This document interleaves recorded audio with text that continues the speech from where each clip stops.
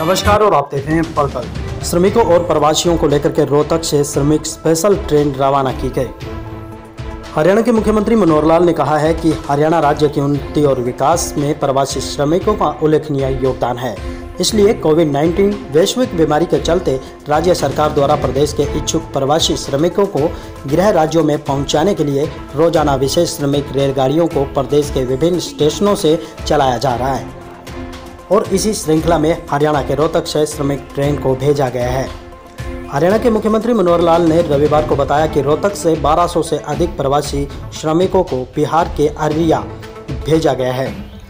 उन्होंने कहा कि विविधता के बावजूद हम सब देशवासी एक हैं और इसी भावना और सोच के साथ हरियाणा सरकार ने लॉकडाउन में फंसे और अपने घरों को जाने के इच्छुक प्रवासी श्रमिकों को हरियाणा सरकार के खर्च पर उन्हें गृह राज्यों में भिजवाने का शुरुआत की है। मुख्यमंत्री ने कहा कि देश के किसी विभाग में रहने वाले सभी भारतीय एक हैं और इसी दुख तकलीफ़ को दूर करना हमारा सबका भारतीयों का दायित्व भी बनता है।